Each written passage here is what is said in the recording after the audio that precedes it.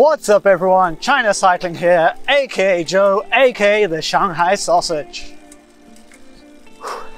One by drivetrains are all the rage these days, but they're not cheap, especially the drop bar options. Never fear, China Cycling is here.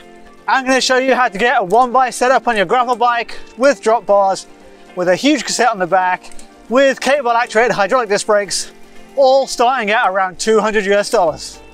Let's take a look.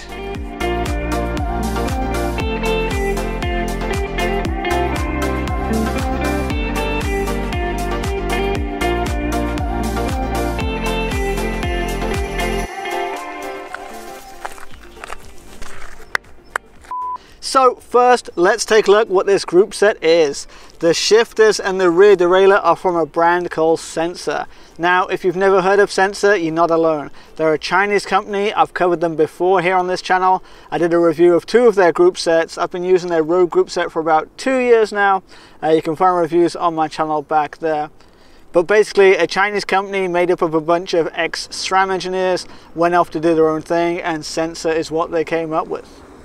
The core group set, the Sensah SRX Pro, consists of two shifters and the rear derailleur. I picked mine up for about 700 RMB, which is about 105 US dollars. However, at the time of filming this, group set prices have gone a bit crazy. Uh, disruptions in production from COVID-19, combined with the increase in demand for cycling recently, has led to a cut in supply and an increase in demand, so prices have all gone up. Nevertheless, this three-piece group set of two shifters in the rear mech I saw on AliExpress today for around 140 US dollars.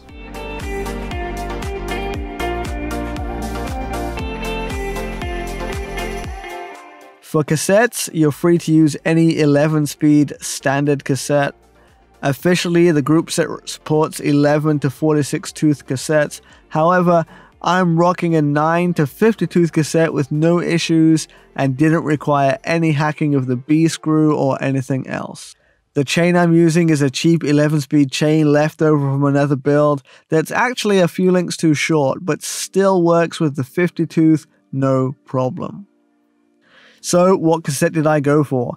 I went with a Himalo 11 speed 9 to 50 tooth cassette in this rather cool rainbow color. At just 380 grams, it's pretty impressive weight for its price. Speaking of price, here in China, I paid 800 RMB, which is about 120 US dollars. But if you're overseas, I found them on AliExpress for about 155 US dollars. And equivalent SRAM cassettes, such as those used in the Eagle drivetrains, retail for well over 400 bucks and weigh about 30 grams less than this Himalo unit. This Himalo cassette features a 9 tooth small ring, even smaller than the 10 tooth used on the SRAM cassettes. This gives an absolutely crazy range to the cassette of over 550%.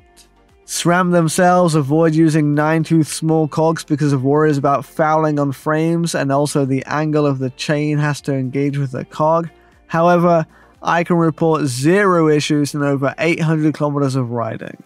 Of course, using any cassette with less than 11 teeth on the small cog will require the use of an XD or XDR driver on your wheel set. Not a problem for me, my gravel wheels are the Winspace Learn Rapid wheels, and an XDR driver is available as a free upgrade when you buy those wheels. For the chainring, you're free to go with whatever. I had a 34 tooth laying around from my old climbing bike, and so I used that.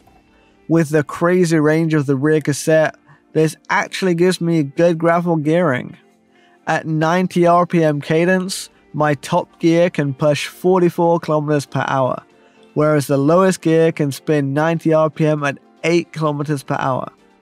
That 8 km per hour figure doesn't quite do the lowest gear justice. You can basically ride up a wall. If you use that gear on the flat, you feel like you've dropped your chain. There's no resistance at all. If I wanted to do some gravel racing, I could throw in a 44 tooth chainring, and at 90 RPM, the top speed would go up to 57k an hour while still retaining a useful 10 km an hour bottom gear. With bikes, everything is a trade off. and the trade off for this awesome range is the gaps between gears. At first, it takes some getting used to. The point where you naturally go for a harder gear, you click for a harder gear, and then suddenly you feel like you're grinding a gear that's way too big. It takes a little mental training to adapt, and basically shift gears about 5 or 10 RPM later than, than you usually would on a standard dual chainring road bike setup. Once you're used to it though, you never really feel like you don't have the right gear. Onto the rear mech, officially supporting a maximum cassette size of 46 tooth and weighing in at 318 grams, it's not super light, but not ridiculously heavy either. There's no clutch mechanism per se, but there is an adjustable spring for controlling the lower arm tension. Out of the box, the rear mech was in the medium position, and the chain slap was noticeable when bunny hopping off a curb or hitting speed bumps and stuff like that. Adjusting the spring to the high position improved things a lot. There's still occasionally chain slap, but it has improved. The smaller size of the 9 tooth cog puts the chain very close to the chainstay, so fully eliminating chain slap would be a rather tall order. I've not scratched or damaged my chainstays in over 800 Ks of riding, but it's probably worth putting some helicopter tape on the chainstays if you're worried about that kind of thing. The rear mech uses SRAM 1 to 1 cable pull ratios, meaning you can use this rear mech with any SRAM road or mountain bike shifters that are 11 speed or less that use SRAM's exact actuation. The shifters seem very similar to the 2x road version I reviewed a couple of years ago. The main difference being the left shifter is now locked in place and unable to shift, or is it? The mechanics for shifting seem to be all included in the shifter, and it looks like it could be modified to allow for shifting. I guess they do this to keep their production line simple and have the road gravel lines using the same production line as the gravel line. Shifting on the right lever uses SRAM style double tap shifting, where releasing the shifter after the first click gives you a harder gear, whereas pushing past the first click onto the second click will give you an easier gear. Continue pushing past the second and onto the third click, and you can shift up a maximum of two gears per sweep of the right shifter. The swing angle of the shifter seems to have been improved from the road version I reviewed a few years ago. A full swing is now very comfortable on the hoods, but a little bit of a stretch for my small trump hands when riding in the drops. If you're worried about weight, don't be. The pair of shifters nudge the scales at 320 grams. That's somewhere between 105 and Ultegra weights. Ergonomically, the shifters are, eh, they're alright. This is probably personal preference and also depends what you're used to. They're easy to grip and generally comfortable to use, but the rubber material used for the hood covers seems lacking when compared to options from the likes of SRAM or Shimano. It's not show stoppingly bad, but just a noticeable area where they've tried to cut costs. The resting position of the brake levers can also be adjusted based on your hand size. These shifters are designed for cable brakes, not hydraulic brakes. So you'll need to have a braking solution that uses cables as opposed to hydraulics. As for the brake lever throw, I'll address that when I talk about the brakes later.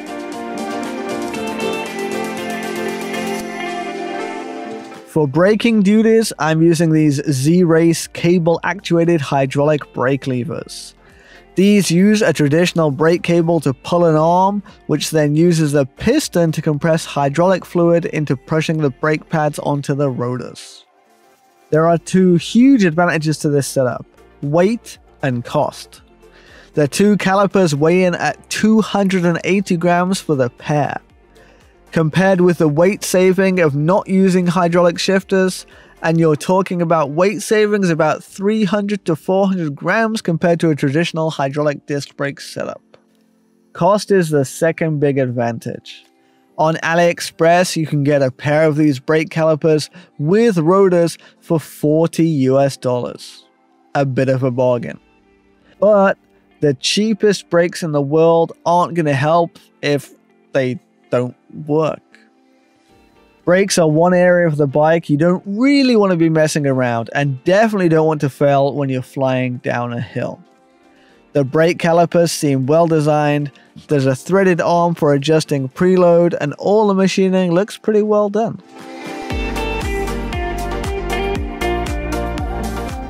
So, how does it ride? First, let's talk about shifting. The shifting is great. Like, not even good, just straight up great. You shift, it shifts, job done. No jumping around, no click, click, click, click, click. It just works super crisp. Sometimes going from the 42 tooth to the 50 tooth of my cassette makes a bit of a gear grinding sound, but I put some of this down to using Squirt Wax Lube, which is notoriously noisy lubricant. In 800 Ks of riding, about 400 Ks of which is probably gravelly, adventure rides, I didn't have a single chain drop. The shifting is great. I love it. Braking, braking, braking. Uh, well, this could be the elephant in the room. On the first ride, the braking performance was so bad. Going down anything steeper than like a 5% gradient was downright scary. Now, so you know where I'm coming from, I've been spoiled recently by riding SRAM Force AXS hydraulic brakes. On that bike, I can brake with my little finger. But I've also ridden rim brakes for years in all shapes and sizes, including some pretty terrible cheap rim brakes. But this was worse than all of them. I instantly assumed it was the brake calipers. So I swapped them out for some high end TRP cable disc brake calipers I had laying around. But still, no real improvement. Then I was wondering if it's the rotors. So I swapped the stock 140mm rotor out for a brand new Shimano Ultegra 160mm one. Again, a slight improvement, but still pretty poor. I went back to the Z Race calipers and stuck with them for a while, and now maybe they've bedded in or something, and braking performance is like acceptable. A, a C minus, if you will. Just the other day, however, I saw Trace Velo put together a new disc brake road bike using these very same brake calipers. And he claims he's getting about 90% the performance of fully hydraulic disc brakes. For the record, ah, I'd say I'm getting about 20%. So the only culprit I can think of is the brake lever throw of the shifters. They go from zero engagement of the brakes to being fully engaged in about 2 centimeters of brake lever throw. There's just not enough leverage in the lever to put the power into the small master cylinder that's needed. Maybe relocating the pivot point of the brake lever would help, I'm not sure. If you've got big gorilla hands and you're the kind of guy whose handshake makes grown men cry, then this will be a non issue.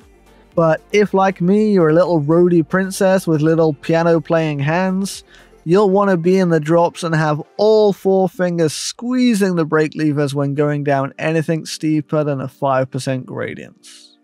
If you're interested in modulation and all that jazz, the brakes are really easy to control because they require so much damn squeezing to get any sort of powerful braking, you're in no danger of accidentally locking up a wheel.